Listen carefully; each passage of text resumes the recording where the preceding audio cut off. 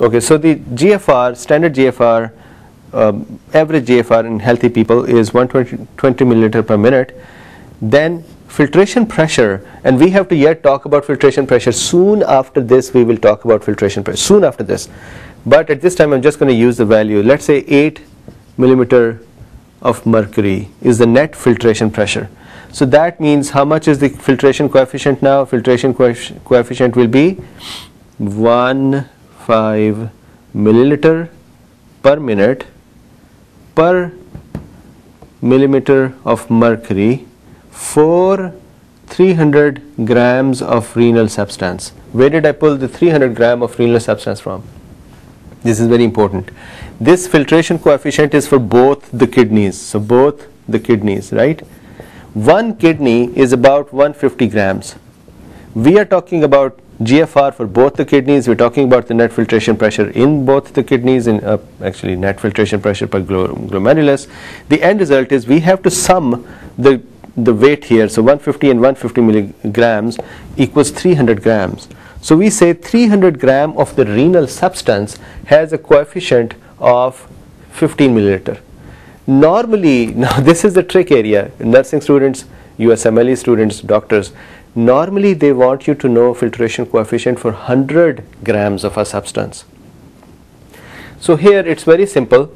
If we have 15 for 300, for 300, then for 100 it will be 300 divided by 3. That would make it 100. So that means 15 divided by 3 equals 5. So 5 milliliter per minute per millimeter of mercury pressure per 100 gram of kidney substance is the filtration coefficient. That is the filtration coefficient. This filtration coefficient is 400 times higher than the filtration coefficient for the remaining body, for the other substances in the body. So if you look at the capillaries in other parts of the bodies, these capillaries in the other part of the body, their filtration coefficient means their surface area and their permeability is 400 times lesser. Their permeability is for surface area is actually more than the kidney. Their permeability is so less that surface area for a 100 gram multiplied with the permeability for the 100 gram of a substance. So that means if I take 100 gram of a substance from here and I see the glomerular uh, capillaries there, the surface area and permeability multiplied for that is going to be about 0.01 0.01 milliliter uh, millimeter per millimeter mercury per 100 gram. So remember this that the that the um, what is that? Filtration coefficient of kidney is very high 400 times higher than the remaining body. And this is because kidney is doing a function which is continuously processing the urine. Okay cool. So we are out. We're done with the filtration coefficient. Let's talk about the net filtration pressure. So I'm going to clean up this area a little bit so we can talk about the net filtration pressure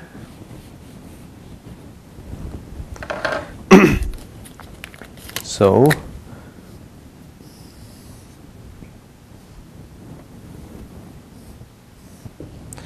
proximal convoluted tubules, Bowman space,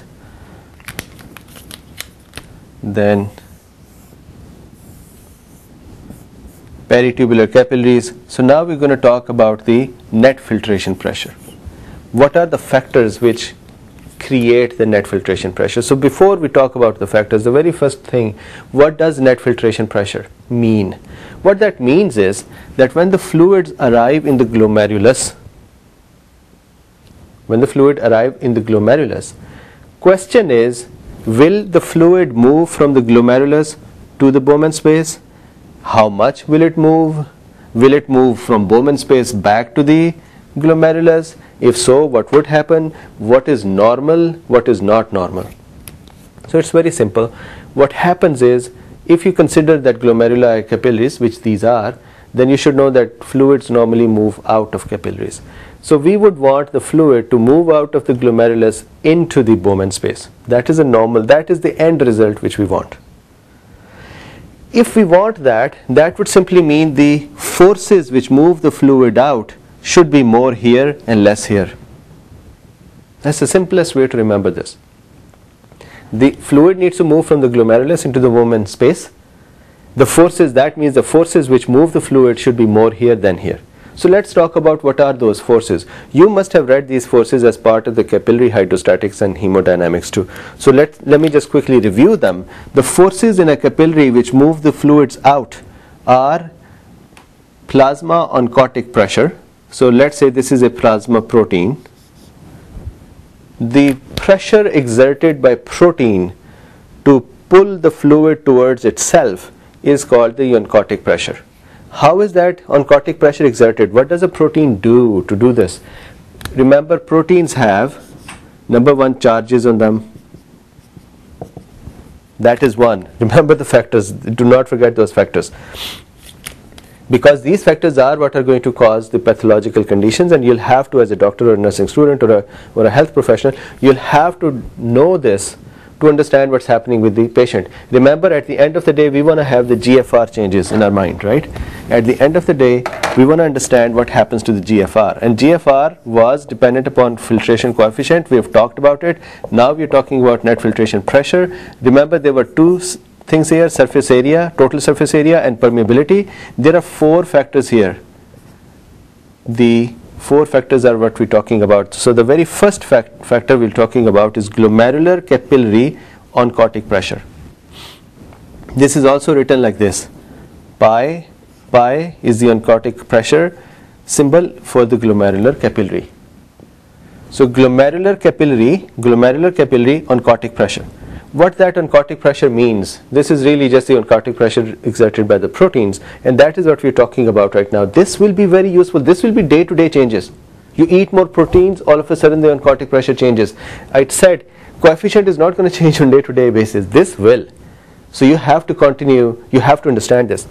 So oncotic pressure of a protein is exerted by two mechanisms. We're talking about the proteins running in, running around in the plasma. One is the proteins themselves are charged. They have multiple amino acids in them and various amino acids are either neutral or positive or negative in their behavior. So those charges would appear. These charges attract water. These charges attract water. Water loves polar things. So that is a pull on water by a protein. Remember what is the biggest sponge in our body? What is the biggest sponge which pulls the water towards it? Albumin albumin is called a sponge in the body. Why? It attaches to the water, it keeps the water with it. Who are other friends of water? So proteins are friends of water, they attach it. Sodium is friend of water, chloride is friend of water and so on. Sodium also moves water with it. Other reason for oncotic pressure is the Donnan effect. What is the Donnan effect? Donnan effect is that attached to protein are going to be ions. For example, sodium is attached here now sodium itself is a friend of water. So sodium is then going to have water attached to that. This is called the Donnan effect, I believe.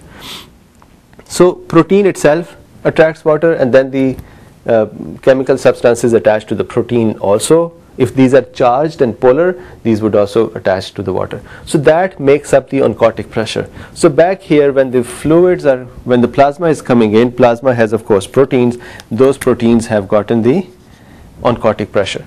So that oncotic pressure is one factor. Now what is it going to do? Oncotic pressure is going to try to keep the water in here. You can say it this way that if water is here, it's going to pull the water out. But normally there is enough water here that it's going to just keep the water. Now the question is if the water proteins are pulling the water here, will that water move? No, water will not move. So we say this is a this is a force which keeps water here. And now if the arrow goes from here to here doesn't mean it is pulling the water. It really is at this time just keeping the water in this area. So that is a reverse force right? What is the normal value of the oncotic pressure? The normal value of the oncotic pressure is about 27 millimeter of mercury so that is the oncotic pressure. Then hydrostatic pressure, the bigger force, the pressure here of the fluids themselves. Remember the hydrostatic pressure is defined as the pressure exerted on the lateral capillary walls or lateral vessel walls or tube by due to the fluids inside